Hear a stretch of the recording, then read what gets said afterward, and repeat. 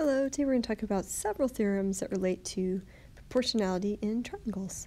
So the first one, I want you to envision if a line parallel to one side of a triangle intersects the other two sides. So first let's draw a picture of what that looks like. So draw a triangle, maybe something kind of like this. And then draw a line that's parallel on the interior, parallel to this side on the end and draw two little marks showing that these are parallel. We'll call this triangle SQT UR. Okay, so if a line parallel to one side of a triangle intersects the other two sides, so talking about these two sides, then it divides the two sides proportionally. So what that means with terminology would be if TU is parallel to QS, then RT over TQ. Let's look at where that is real quick. So RT is right here, and then TQ is right here. So this side here compares to this side the same way that RU, so see this longer side here, compares to US. So these two go together, and these two go together. So you can set up a proportion order to find missing sides. Okay, then the converse of that, sort of like the opposite of that, let's draw one more triangle. Uh, just go ahead and use the same letters, S, Q, and draw another line that is parallel. T, U, R. Okay, so if a line divides two sides of a triangle proportionally, then it is parallel to the third side. So this time we're not given that it's parallel, we're given that the proportions work. And we're just going to list those same proportions that we just talked about. Then you can conclude that TU is parallel to QS. All right, so let's just use an example of this.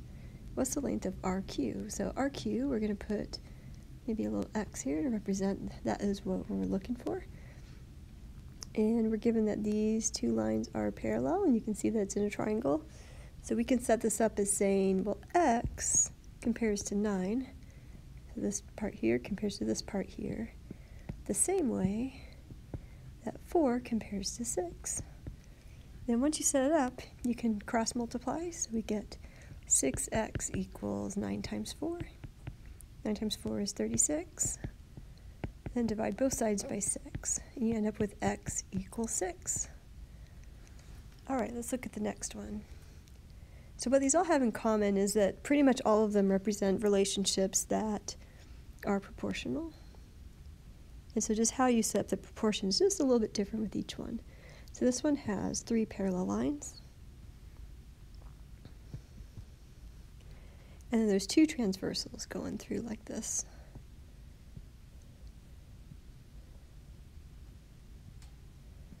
And we're to have lots of very lots of vertices here. So we've got U, W, Y, We'll call this line L, this line M, and then V, X, and Z. These are all points where they intersect. Okay, it says if three parallel lines intersect two transversals, then they divide the transversals proportionally. So UW would compare to WY, so let's look at where those are. UW would compare to wy right next to it the same way that vx compares to xz. Just realized my v's and u's kind of look alike, so I'm going to make that a little more defined. Okay. And so let's set this up. With the real numbers, it's a little easier to see.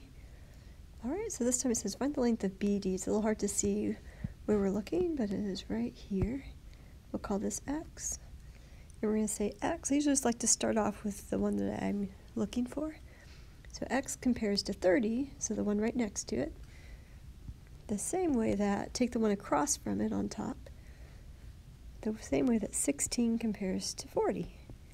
And once again, we're going to cross multiply to get 40x equals 16 times 30, which multiplies to 480.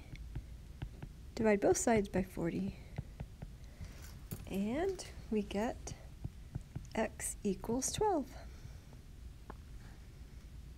All right, last theorem. And once again, it's going to have to do with some proportions. And this time we're given a triangle. It says, if a ray bisects an angle of a triangle. So first let's draw of a standard triangle.